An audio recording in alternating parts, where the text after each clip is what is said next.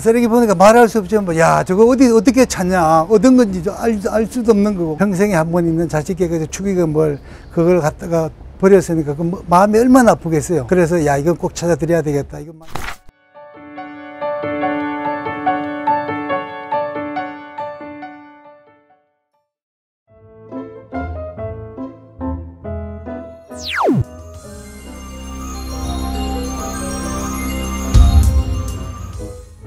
이천만 원을 넘게 그렇게 그냥 가지고 있다가 아유 어떻게 될까 싶어서 갔다 와서 금방 이제 꺼내야지 하면서 재활용 쓰레기에다가 돌돌 말아서 집어넣은 거예요. 제 재활용 쓰레기가 많아지니까 제가 이제 그거 잊어버리고 꽉 묶어서 이제 바깥에 내다 놓은 거예요.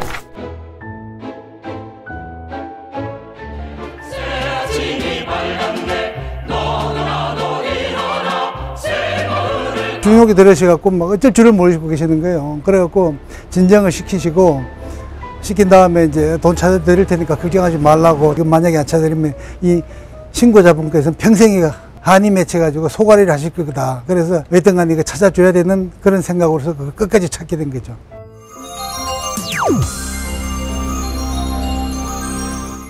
뭐 쓰레기 보니까 말할 수 없죠. 뭐야 저거 어디 어떻게 찾냐. 그 아줌마하고 경찰분들이 두 분 오셔가지고 그 일일이 거기 아, 그 안에 있는 거 뒤적뒤적 해가지고 그걸 찾았거든요. 아니 못 찾아요 그거. 찾을 수가 없어요.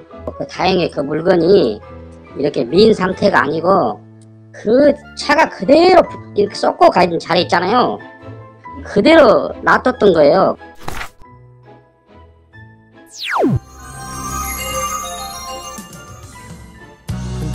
흔들리는 꽃들 속에서 내 산포향이 느껴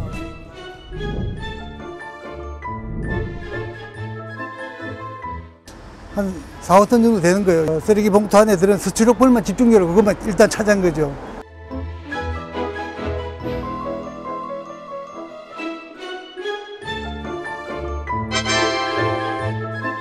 그 안을 뒤져보니까 그 안에 현금이 딱 들어있는 거예요. 내가 거기서 막 박수 치고 그랬거든요. 그 찾아가지고. 그 경찰분들이 고생 많이 하셨어요. 아 이렇게 웃게 해주셔서 너무 감사합니다. 정말로.